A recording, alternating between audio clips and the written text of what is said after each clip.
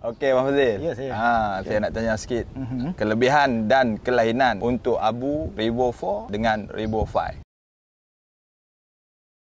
Kita pergi dengan Revo 4 dulu. Okey. Kat saya ni sekarang ni ada Revo 4 punya model. Uh, yang ini adalah model Revo Beast lah. So Revo 4 dia punya design dia lebih padat dan kita nampak dia lebih solid. So jadi dia punya design dia agak sesuai untuk orang-orang yang mempunyai palmi yang kecil. Di samping tu ia membantu untuk kita grip dengan lebih Ya, baik. sedap di genggaman lah. Ya, sedap apabila kita strike kan. Kita genggam dengan baik so kita boleh control semasa kita strike dengan baik lah. Uh, yang paling penting sekali untuk model Revo 4 ni adalah lebih murah lah kalau Murah kita bandingkan dengan model Revo 5. Ha, untuk Revo 5 pula, apa kelainan ke, ada kelebihan penambahbaikan ke? Okey, untuk model Evo 5, dia punya design dia lebih bersesuaian untuk orang yang bertangan besar. Tapi dia punya design dia pada bahagian atas ni dia ada buat sedikit asymmetry design membantulah untuk kita melakukan cast dan juga semasa kita retrieve dengan baik. Dan kalau yang paling penting sekali upgrade yang terbaru untuk model Revo 5 ni adalah berdasarkan EXD concept. Okay. So EXD concept ni kalau kita lihat pada dia punya spool Okay, dan dia pada dia punya langgai ada sedikit penambah jarak. Oh, Jadi dia- membantu untuk kita melakukan long cast dengan baik. Jadi semoga dapat memberi sedikit info lah pada angler-anglers tentang model Revo 5. Ya.